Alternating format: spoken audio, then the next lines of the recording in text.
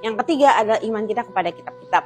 Nah, mungkin ini yang bakal agak kalau teman-teman sebelah Kristen jangan gampang panas-panas ya. Ini kan namanya again, my content is for education purposes. Jadi saya tuh pinginnya sambil saya belajar, sambil saya literate, saya pinginnya teman-teman mualaf saya yang lainnya di mana pun anda berada, juga kalian bisa mendapatkan sedikit instruction-instruction dasar. Jadi marilah kita tuh sama mualaf itu, we make a community for ourselves. Kita mencerdaskan sesama. Jadi yang bagi Kristen-Kristen jangan panas ya sekali mulai disebut-sebut hal-hal yang berhubungan dengan Christianity.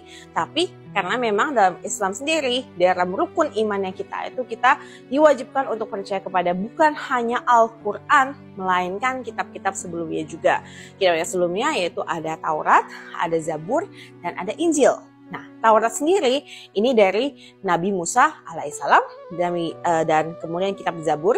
Zabur itu dari Nabi Daud alaihissalam dan Haleluya, salam kemenangan iman, salam jumpa kembali dengan saya dalam program Menyapa kita dengan renungan firman Tuhan Atau menanggapi video-video yang salah tafsir tentang ajaran Kristen. Sebelum saya lanjutkan, jangan lupa like dan subscribe. Memberikan komentar-komentar yang baik. Sobat-sobat yang saya kasihi di dalam Yesus Kristus Tuhan Baru saja kita menyaksikan sebuah rekaman video.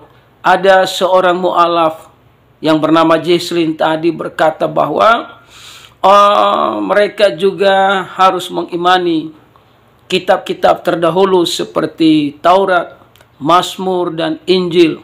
Sehingga dalam video tadi dia berkata bahwa uh, dalam pembahasan jika menyebut kekristenan, orang-orang Kristen itu tidak boleh panas. Sobat-sobat yang saya kasihi di dalam Yesus, sebelum saudara lahir, ya dengarkan Mbak Jesslyn, sebelum Anda lahir ke dalam dunia, Kristen itu sudah dihina, diolok, diejek, diludahi. Itu sudah terjadi sebelum Anda lahir ke dalam dunia. Namun perhatikan, sekalipun orang-orang Kristen dihina, Kenapa orang-orang Kristen dihina karena percaya kepada Yesus sebagai Tuhan dan Juru Selamat? Yesus yang sumber penghinaan bagi orang-orang yang tidak mengenal Allah. Di atas kayu salib dia berkata, ampunilah mereka, karena mereka tidak tahu apa yang mereka perbuat. Sehingga orang-orang Kristen juga berkata demikian, ampunilah mereka karena mereka tidak tahu apa yang mereka perbuat. Kenapa orang-orang Kristen itu tidak panas?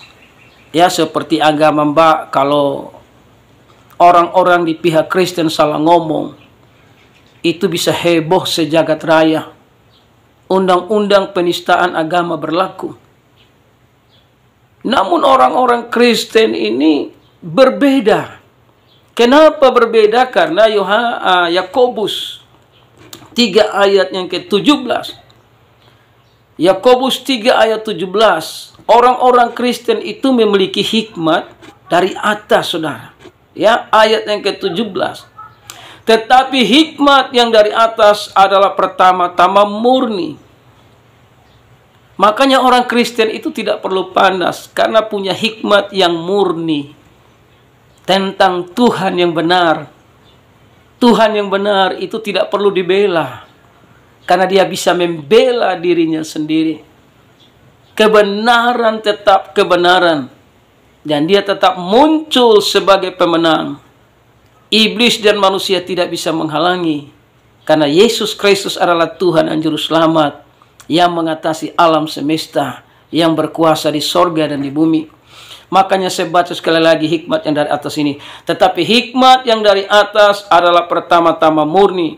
Selanjutnya pendamai. Jadi orang Kristen itu tidak akan pernah panas ketika saudara hina, olok, ejek. Ya paling cuma hanya bisa berdoa dan berkata selamatkanlah mereka sebelum mereka dipanggil pulang oleh Tuhan. ya saudara.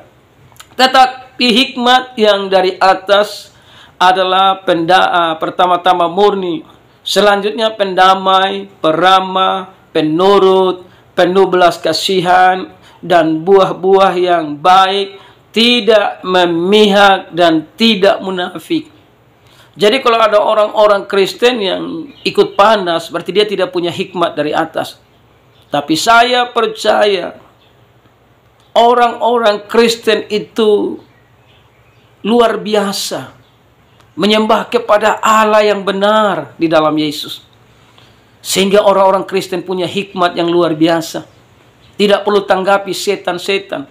Tidak perlu tanggapi kata-kata yang bukan dari Tuhan.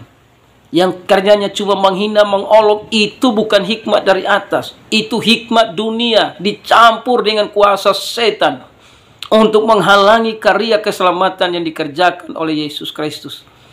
Jadi sekali lagi Mbak, sebelum Mbak lahir ke dalam dunia, Kristen sudah dihina-hina ya tapi orang-orang Kristen tetap bersyukur punya Allah yang baik di dalam Yesus yang mengajarkan kami supaya kami senantiasa punya hikmat dari atas tidak boleh iri dan dengki, tidak boleh munafik, saudara.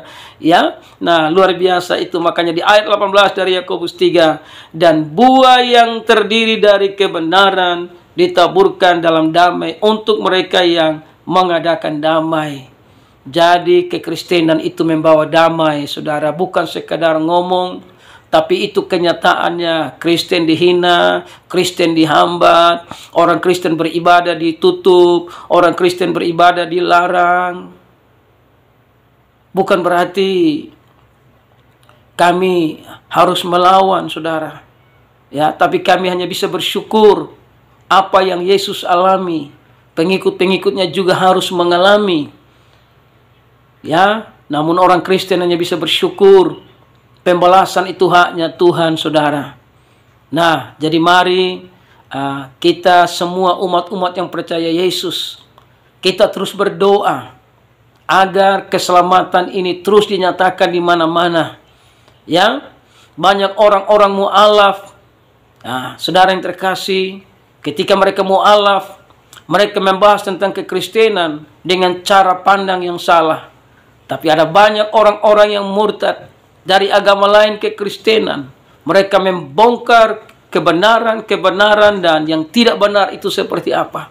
Sehingga banyak yang dipenjarakan, banyak yang harus lari meninggalkan Indonesia ini karena mereka membongkar setiap yang tidak ada dalam kebenaran dan mereka menunjukkan kebenaran yang benar hanya ada di dalam Yesus Kristus Tuhan. Dan Tuhan Yesus memberkati kita semua. Salam damai, salam kemenangan iman. Dan doa saya bagi para mu'alaf-mu'alaf di seluruh dunia.